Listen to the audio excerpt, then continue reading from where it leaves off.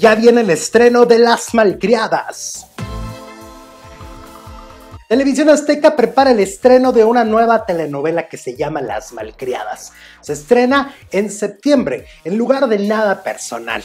Ya lanzaron varios avances de lo que será la historia y de verdad se ve súper interesante y como nunca quiero ver una telenovela de TV Azteca.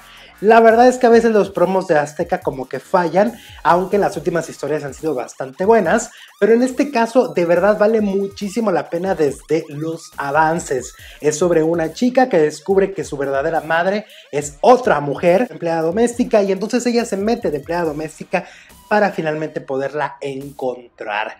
Y ahí hay una serie de situaciones, se hablará de trata de blancas, se ve una supervillana que es Rebecca Jones, Ernesto La Guardia, Sara Maldonado, Cintia Rodríguez, un gran reparto, está la grandiosa Dolores Heredia. Y bueno, esta telenovela se estrena próximamente, yo la verdad con los avances, con los puros avances quiero verla, se ve muy, muy interesante. Creo que además desde el título eh, se, escucha atractivo, un título distinto, eh, es un melodrama, pero con tintes de realismo y en otro tono.